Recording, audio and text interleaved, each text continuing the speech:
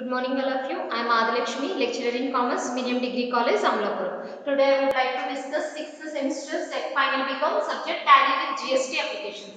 అయితే ఈరోజు మన unit one introduction of GST and difference between GST and వ్యాట్లో first topic కోసం తెలుసుకుందాం. అసలు introduction of GST introduction of GST GST అంటే ఏం చెప్పుకోవచ్చు? మనం గూడ్స్ అండ్ సర్వీస్ ట్యాక్స్ కింద చెప్పుకోవచ్చు. జిఎస్టీ ఇంట్రడక్షన్ ఎలా చెప్పుకోవచ్చు? మనం గూడ్స్ అండ్ సర్వీస్ ట్యాక్స్ వస్తువులు మరియు సేవలపై విధించే పన్ను కింద? జిఎస్టీని చెప్పుకోవడం జరుగుతుంది. అయితే మనం ఫస్ట్ జిఎస్టీ కోసం తెలుసుకోవాలంటే ఫస్ట్ ఇండైరెక్ట్ ట్యాక్స్ సిస్టమ్ కోసం తెలుసుకోవాలంటే మనం ప్రీ జిఎస్టీ స్ట్రక్చర్ తెలుసుకోవాలంటే ఫస్ట్ మనం ఏం చేయాలి?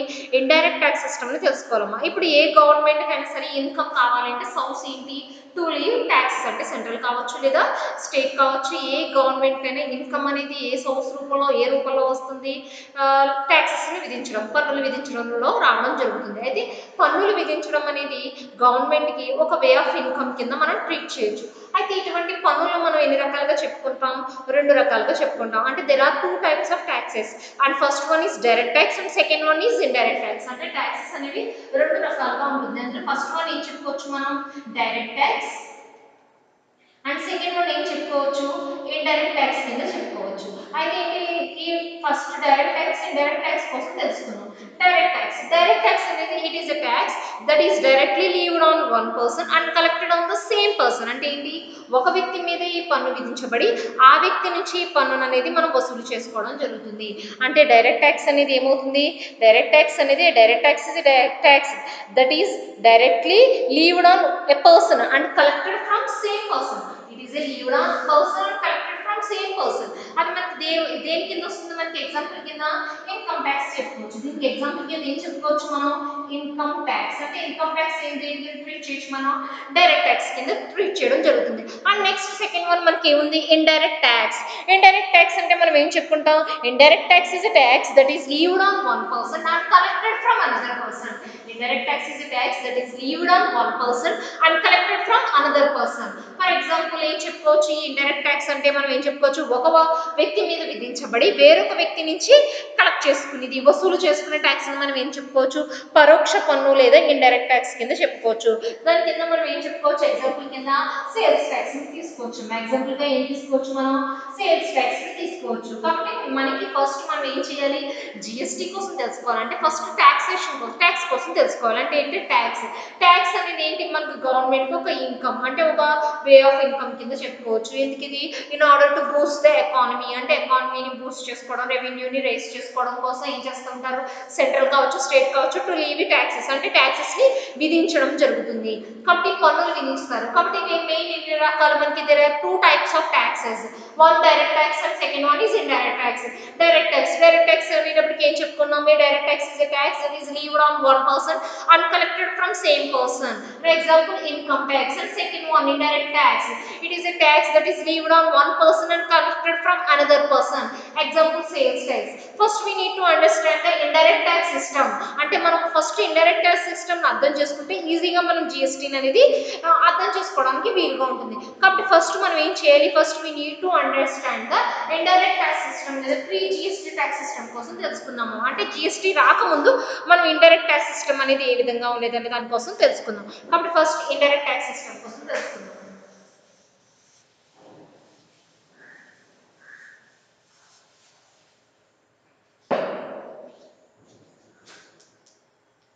indirect taxes indirect tax system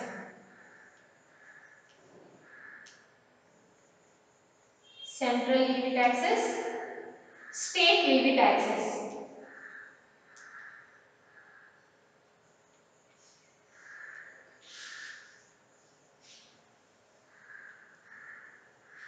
okay చూడండి. ఇండైరెక్ట్ ట్యాక్స్ కోసం చెప్పుకున్నాం కదా ఇండైరెక్ట్ ట్యాక్స్ అంటే ఏంటో చెప్పుకోవడం జరిగింది. అయితే ఇండైరెక్ట్ ట్యాక్స్లోకి వచ్చేటప్పటికి మనకి ఏమున్నాయి ఇక్కడ? Central levy taxes and state levy taxes అని ఉన్నాయి. అంటే ఏంటి? ఫర్ ఎగ్జాంపుల్ చూసుకుంటే ఇండైరెక్ట్ ట్యాక్స్ సిస్టంలోకి మనకి సెంట్రల్ విధించే ట్యాక్సెస్ ఉన్నాయి. అదేవిధంగా స్టేట్ విధించబడే ట్యాక్సెస్ ఉన్నాయి. సెంట్రల్ అంటే కేంద్రం స్టేట్ అంటే రాష్ట్రాలు. రాష్ట్రాలు విధించబడే పనులు కేంద్రం విధించే పనులు కేంద్రం విధించే పరోక్ష పనుల కోసం తెలుసుకుందాం. ఇప్పుడు సెంట్రల్ స్టేట్ ట్యాక్స్లోకి వచ్చేటప్పటికి సారీ సెంట్రల్ లీవింగ్స్ అంటే కేంద్రం విధించే పన్నులకు వచ్చేటప్పటికి మనకి కస్టమ్స్ డ్యూటీ అంటే ఫర్ ఎగ్జాంపుల్ ఫస్ట్ ఏంటుంది? కస్టమ్స్ డ్యూటీ అండ్ నెక్స్ట్ ఇంకేం విధిస్తాయి ఇవి? కస్టమ్స్ డ్యూటీతో పాటు ఇంకా మనకి ఇవి ఎక్సైజ్ డ్యూటీని కూడా ఇవి విధించడం జరుగుతుంది. కేంద్రం విధించే మరొక పన్ను ఏంటి? మనకి ఎక్సైజ్ డ్యూటీ ఎక్సైజ్ డ్యూటీ అదే విధంగా? సర్వీస్ ట్యాక్స్ సెంట్రల్ విధించబడేది ఇంకొకటి ఏంటి? Service tax customs duty excise duty service tax and next ఇంకేం చెప్పుకోవచ్చు? Central sales tax central sales tax ఈ పనులన్నీ ఎవరు విధించబడేవి? కేంద్రం విధించబడే పరోక్ష పన్నుల కింద చెప్పుకోవచ్చు. ఇందులో one by one first one by one కోసం తెలుసుకుందాం. అంటే ఏంటి? కస్టమ్స్ డ్యూటీ కస్టమ్స్ డ్యూటీ అనేది ఎప్పుడు it is levied on imports it is levied on imports imports మీద అంటే దిగుమతుల మీద విధించబడే పన్ను. It is levied on imports next excise duty excise duty కోసం చూసుకుందాం. ఇప్పుడు కస్టమ్స్ డ్యూటీ ఏ విధంగా అయితే ఇంపోర్ట్స్ మీద ఉంటుందో ఎక్సైజ్ డ్యూటీ అనేది it is levied on manufacturing it is levied on manufacturing it is levied on manufacturing and next service tax service tax అని ఇందులోనే ఉంది. సర్వీసెస్ అని ఉంది. అంటే ఏంటి? Provision of services it is levied on provision of services provision of services మీద ఈ tax అనేది విధించడం జరుగుతుంది. అదే విధంగా next central sales tax central sales ట్యాక్స్కి వచ్చినప్పటికి inter state sale of goods మీద ఇది విధించడం జరుగుతుంది. Inter state sale of goods అంటే it is levied on inter state sale of goods inter state sale of goods మీద ఈ సెంట్రల్ సేల్స్ ఆఫ్ ట్యాక్స్ని విధించడం జరుగుతుంది. కాబట్టి ఇంటర్స్టేట్ సేల్స్ ఆఫ్ గూడ్స్ మీద మనం ఏం చేస్తాం? కేంద్రం అనేది సెంట్రల్ సేల్స్ ట్యాక్స్ని విధించడం జరుగుతుంది. కాబట్టి కేంద్రం విధించే పనులు ఏంటి? మనకి customs duty excise duty service tax central central sales tax ఇవన్నీ మనకి ఏమవుతాయి? కేంద్రం విధించబడే పనుల్లోకి వస్తాయి. అదే విధంగా రాష్ట్రం విధించబడే పనులు. రాష్ట్రం విధించబడే పన్నుల్లోకి పనుల్లోకి వస్తాయి మనకి సేల్స్ ట్యాక్స్ లేదా వ్యాట్ సేల్స్ ట్యాక్స్ లేదా వ్యాట్ అంటే ఫస్ట్ మనం ఏంటి? సేల్స్ ట్యాక్స్ లేదా వ్యాట్ అంటే ఏంటి? సేల్స్ ట్యాక్స్ లేదా వ్యాట్ ఇక్కడ సెంట్రల్ సేల్స్ ట్యాక్స్ అనేది దేనికి సంబంధించింది? Inter state sale of goods జరిగినప్పుడు అంటే inter state sale of goods జరిగినప్పుడు ఏ విధించబడుతుంది? కేంద్రం అనేది పన్నును విధించడం జరుగుతుంది. కానీ ఇక్కడ సేల్స్ ట్యాక్స్ మరియు వ్యాట్ అనేది ఎక్కడ జరుగుతుంది? అంటే intra state sale of goods జరిగినప్పుడు అంటే it is levied on intra state sale of goods it is levied on intra state intra state అంటే అంతర్గతంగా మనకి జరిగినప్పుడు ఒక రాష్ట్రంలోనే ఒక రాష్ట్రంలో ఉన్న వ్యక్తి అదే రాష్ట్రంలో ఇంకొక వస్తు సేవలకు సం- వస్తువులకు సంబంధించినది. ఇదైతే అంతర్ ఒక రాష్ట్రం నుంచి మరొక రాష్ట్రానికి చెప్పుకోవచ్చు. ఇక్కడ సేల్స్ ట్యాక్స్ అనేది ఇంట్రా స్టేట్స్కి సంబంధించింది. అదేవిధంగా ఎంటర్టైన్మెంట్ ట్యాక్స్ నెక్స్ట్ వచ్చేటప్పటికి ఎంటర్టైన్మెంట్ ట్యాక్స్ ఇది entertainment and luxuries it is levied on entertainment and luxuries entertainments మీద లగ్జరీస్ మీద విధించబడే పన్ను. కేంద్రం విధించబడే పన్నులో మరొకటి ఏంటి ఎంటర్టైన్మెంట్స్ మీద లగ్జరీస్ మీద విధించబడే పన్ను. నెక్స్ట్ వచ్చేటప్పటికి ఎంట్రీ ట్యాక్స్ ఎంట్రీ ట్యాక్స్ అంటే entry of goods in states amount next వచ్చేటప్పటికి ఏంటి? రాష్ట్రం విధించబడేది ఎంట్రీ ట్యాక్స్ ఎంట్రీ ట్యాక్స్ అనేది ఎప్పుడు విధిస్తారు? It is levied on entry of goods in state it is levied on entry of goods in states అప్పుడు మనకి ఎంట్రీ ట్యాక్స్ అనేది విధించడం జరుగుతుంది. అండ్ నెక్స్ట్ మనకి వచ్చేటప్పటికి ఏంటి? Taxes on betting and gambling అంటే tax which is legal taxes on betting and gambling వీటి మీద విధించబడే పనులు ఏంటి మనకి taxes on betting and gambling ఇవన్నీ ఎవరు విధించడం జరుగుతుంది?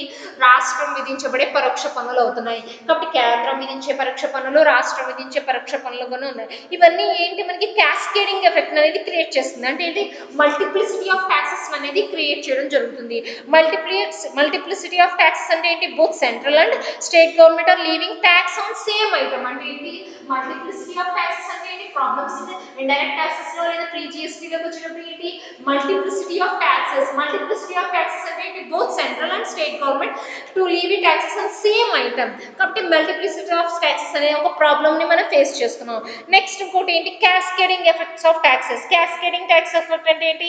ట్యాక్స్ ఆన్ ట్యాక్స్ ఏమవుతుంది? ట్యాక్స్ ఆన్ ట్యాక్స్ అనేది మనకి ఏర్పడుతుంది. ఇప్పుడు ఇంకొకటి ఏమేర్పడుతుంది మనకి ట్యాక్స్ ట్యాక్స్ అనేది కూడా మనం విధించబడుతుంది.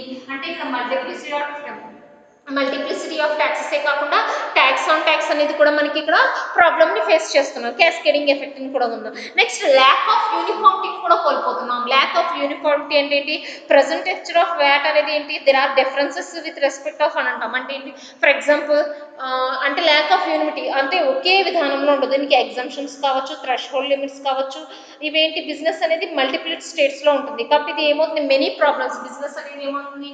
మెనీ ప్రాబ్లమ్స్ అనేది ఫేస్ చేస్తుంది.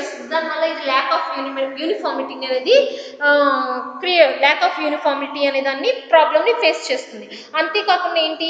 ఇంకా ఇంకే ప్రాబ్లమ్స్ ఫేస్ చేస్తుంది ఇది ట్రాన్స్పరెన్సీ ట్రాన్స్పరెన్సీకి వచ్చేటప్పటికి ఏమవుతుంది? ల్యాక్ ఆఫ్ ట్రాన్స్పరెన్సీ అనేది కోల్పోతుంది. కాబట్టి మనకి ప్రీ జిఎస్టీ లేదా ఇండైరెక్ట్ ట్యాక్సెస్లో ఏమవుతుంది మనకి? ఈ ఇండైరెక్ట్ ట్యాక్సెస్లో అనేది మనకి మాక్సిమం ఏమవుతుంది ఇది? ద్వంద్వ పన్ను విధానం అనేది అంటే ద్వంద్వ పన్ను విధానం అనేది తొలగించబడుతుంది. అంటే ద్వంద్వ పన్ను విధానం అనేది ఎక్కువగా ఉంటుంది. క్యాస్కేడింగ్ ఎఫెక్ట్ అనేది ఉంటుంది. నిరంతరంగా పన్ను అనేది చెల్లించడం జరుగుతుంది. నిరంతరంగా పన్ను చెల్లించడం ద్వంద్వ పన్ను విధానం ఉంటుంది. అంతేకాకుండా క్యాస్కేడింగ్ ఎఫెక్ట్ ఉంటుంది. అంటే ట్యాక్స్ పన్ను మీద పన్ను అనేది ఉంటుంది. నెక్స్ట్ పలు రకాలైన పన్నులు అనేది చెల్లించడం జరుగుతుంది. అంతేకాకుండా విలువ ఆధారిత అనే సూత్రం లేకుండా ప్రతి వస్తువు మీద కూడా ఏం చేస్తాం? పన్ను అటు కేంద్రము అటు రాష్ట్రము ఇద్దరు కూడా పన్నులు అనేవి విధించడం జరుగుతుంది. అయితే ఈ ఇండైరెక్ట్ ట్యాక్స్ సిస్టమ్ అంతా రిమైండ్ చేసి మనకి ఈ ప్లేస్లో మనకి ఏమొచ్చింది జిఎస్టీ అనేది వచ్చింది. అంటే ఒకే దేశం ఒక- ఒక దేశం ఒకే పన్ను విధానంతో మనకి జిఎస్టీ అనేది రావడం జరిగింది.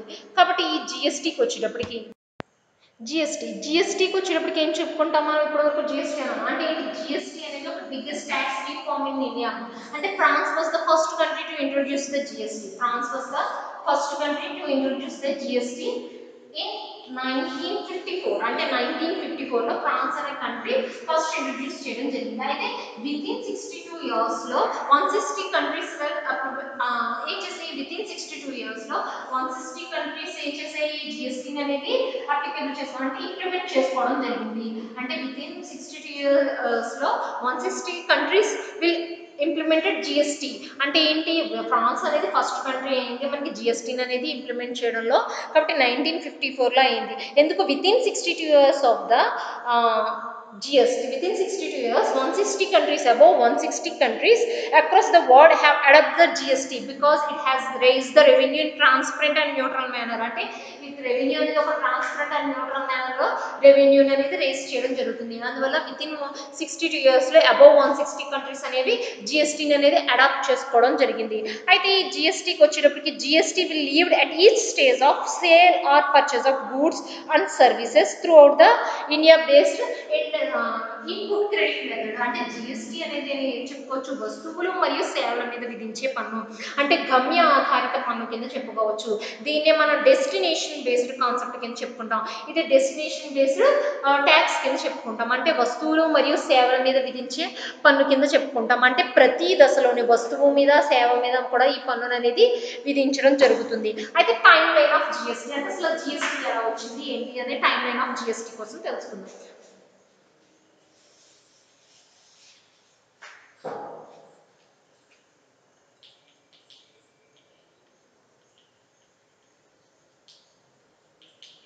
timeline of GST bill timeline of GST bill అంటే timeline of GST bill అంటే అసలు ఫస్ట్ జిఎస్టీ బిల్ ఎలా అయ్యిందని. ఫస్ట్ జిఎస్టీ బిల్కి వచ్చేటప్పటికి prime minister Atal Bihari Vajpayee set up a committee to design a single tax model in two thousand in two thousand two thousand ఏం జరిగిందంటే prime minister Atal Bihari Vajpayee prime minister Atal Bihari Vajpayee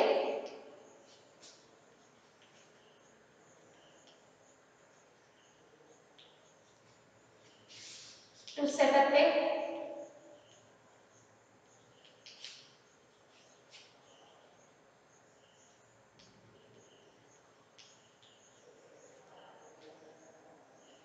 అంటే in the year of two థౌజండ్లో prime minister Atal Bihar Vajpayee ఏం చేయడం జరిగింది. ఏ కమిటీని అనేది నేను ఎందుకు? ఏ డిజైన్ సింగిల్ ట్యాక్స్తో ఒక సింగిల్ ట్యాక్స్ అనేది అవసరం అనే ఉద్దేశంతో సింగిల్ ట్యా సింగిల్ ట్యాక్స్ అనే మోడల్ని ఒక డిజైన్ చేయడం జరిగింది. ఎప్పుడు? In the year of two థౌజండ్లో ఎవరు? ప్రైమ్ మినిస్టర్ అటల్ బిహార్ వాజ్పేయి నేతృత్వంలో. నెక్స్ట్ టూ థౌజండ్ ఫైవ్లోకి వచ్చేటప్పటికి ఏమైంది? Finance minister P Chidambaram mention a need of single tax in budget speech అయితే టూ థౌజండ్ ఫైవ్లో ఏం జరిగింది P Chidambaram P Chidambaram finance minister అతను ఏం బడ్జెట్లో సింగిల్ ట్యాక్స్ యొక్క అవసరాన్ని నీడ్ అనేది స్పీచ్లో ఇవ్వడం జరిగింది. అంటే ఏంటి? In the year of two thousand ఫైవ్లో finance minister P Chidambaram mentioned a need for single tax design in budget speech అమ్మ. Next in the year of two thousand six ఆ తర్వాత మళ్ళీ again P Chidambaram April first two thousand ten చేశారు. Date for introducing GST అంటే date for introducing GST two thousand five ఏం చేశారు మళ్ళీ. Two thousand in the year of two thousand ఫైవ్లో P Chidambaram ఏం చేశారు? ఫైనాన్స్ మినిస్టర్ అప్పుడు again April first two thousand ten అంటే April first two thousand ten అనేది as the date of introducing of జిఎస్టీని తీసుకురావడం జరిగింది as the date of introducing GST as the date of introducing GST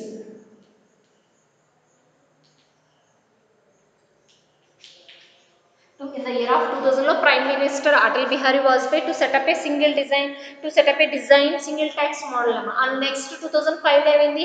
finance minister అంటే finance minister finance మినిస్టర్కి వచ్చినప్పటికి ఏమయ్యారు? అక్కడ మనకి P Chidambaram mention need of single tax in budget speech అంటే single tax యొక్క అవసరాన్ని బడ్జెట్లో ప్రసంగించడం జరిగింది. నెక్స్ట్ ఇంకా two thousand six sorry two thousand six ఫిబ్రవరి అమ్మ. In the year of two thousand six ఫిబ్రవరిలో ఏమైంది? P P Chidambaram finance minister P Chidambaram ఏం చేశారు? Asset April first two thousand as the date for introducing GST అంటే introducing of GST ఒక date అనేది fix చేయడం జరిగింది. అది ఏప్రిల్ ఫస్ట్ టూ థౌజండ్ టెన్కి వచ్చినప్పటికి నెక్స్ట్ మనం చూసుకునేటప్పటికి అంటే టూ థౌజండ్ సిక్స్ తర్వాత మళ్ళీ ఏమైంది? టూ థౌజండ్ నైన్ జూలైలో మనకి finance minister Pranab Mukherjee announce the basic structure of GST అంటే టూ థౌజండ్ నైన్లో ఏమైంది? అప్పటి finance minister Pranab Mukherjee.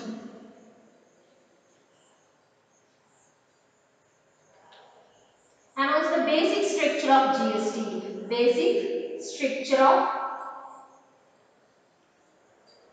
GST అంటే టూ థౌజండ్ నైన్కి వచ్చేటప్పటికి ఏమైంది? టూ థౌజండ్ నైన్ జూలైలో ఫినాన్స్ మినిస్టర్ ప్రణబ్ ముఖర్జీ ఏం చేశారు? Announces the basic structure of జిఎస్టీని చేశారు టూ థౌజండ్ నైన్ జూలైలో. నెక్స్ట్ ఆఫ్టర్ ఫార్వర్డ్స్ ఇంకా కంటిన్యూషన్గా వెళ్ళిపోతే టూ థౌజండ్ లెవెన్లో ఏమైంది? యూపీఏ గవర్నమెంట్ అనేది బిల్ని లోక్సభలోని ఇంప్లిమెంట్ చేయడం జరిగింది. నెక్స్ట్ టూ థౌజండ్ థర్టీన్లోకి వచ్చేటప్పటికి ఏమైంది అంటే సెవెరల్ స్టేట్స్ ఏం చేసినాయి బిల్ అపోజ్ చేయడం జరిగింది. టూ థౌజండ్ థర్టీన్లోకి వచ్చేటప్పటికి ఏమైంది? సెవెరల్ స్టేట్స్ ఏం చేసినాయి బిల్ని అపోజ్ చేయడం జరిగిందన్నమాట. కాబట్టి బిల్ అనేది ఏమైంది? టూ థౌసండ్ థర్టీన్లో బిల్ అనేది అపోజిట్ అవ్వడం జరిగింది. టూ థౌజండ్ అంటే టూ థౌసండ్ నైన్లో దీన్ని ఒక బేసిక్ స్ట్రిక్షన్ చేసిన తర్వాత టూ థౌసండ్ థర్టీన్కి వచ్చేటప్పటికి సెవరల్ స్టేట్స్ ఏం చేసినాయి బిల్ని అపోజ్ చేయడం జరిగింది. తర్వాత టూ థౌసండ్ ఫోర్లో ఏం చేసింది? మళ్ళీ బిల్ అనేది డిజల్యూషన్ ఆఫ్ లోక్సభతో అవ్వడం జరిగింది. టూ థౌజండ్ ఫోర్టీన్లో మళ్ళీ బిల్ అనేది డిజల్యూషన్ ఆఫ్ లోక్సభతో అవడం జరిగింది. నెక్స్ట్ అలా టూ థౌసండ్ ఫోర్లో ఎప్పుడైతే బిల్ అనేది ల్యాప్స్ అయిందో డిజల్యూషన్స్తో అయిందో డిజల్యూషన్ అయిందో నెక్స్ట్ టూ థౌజండ్ ఫిఫ్టీన్లో మళ్ళీ ఏం చేశారు? అప్పటి finance minister finance minister Arun Jaitley ఏం చేశారు? మళ్ళీ introduce bill again in the parliament అంటే టూ థౌజండ్ ఫిఫ్టీన్కి వచ్చేటప్పటికి అరుణ్ జైట్లీ ఏం చేశారు? మళ్ళీ దీన్ని బిల్ అనేది ఇంట్రడ్యూస్ చేయడం జరిగింది. నెక్స్ట్ ఎప్పుడైతే టూ థౌజండ్ ఫిఫ్టీన్లో దీన్ని మళ్ళీ ఇంట్రడ్యూస్ చేయడం జరిగిందో next two thousand fifteen and sixteen between two thousand fifteen and సిక్స్టీన్లో bill pass Lok Sabha and Rajya Sabha అంటే ఇన్ ఫిఫ్టీన్ అండ్ సిక్స్టీన్ అంటే in between two thousand fifteen and sixteen ఏమైంది? Bill passed in Lok Sabha and Rajya Sabha. Bill passed in Lok Sabha and Rajya Sabha. Bill passed in Lok Sabha and Rajya Sabha.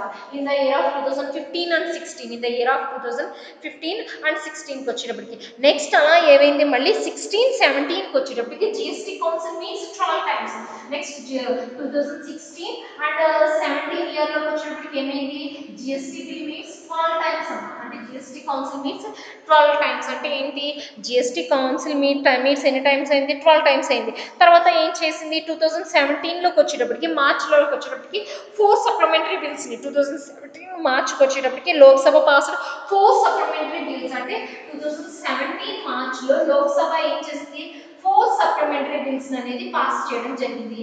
Next ఇది final వచ్చేటప్పటికి అయింది మనకి? Two thousand seventeen జూలైలో మనకి GST implement కానుంది two thousand seventeen జూలైలో మనకి July ఫస్ట్న జిఎస్టీని అనేది ఇంప్లిమెంట్ చేయడం జరిగింది. కాబట్టి in the year of two థౌజండ్లో prime minister Atal Bihari Vajpayee to set up a design for single tax model అనేది చేయడం జరిగింది. Next in the year of two thousand ఫైవ్లో ఏమైంది పి చిదంబరం ఏం చేశారు?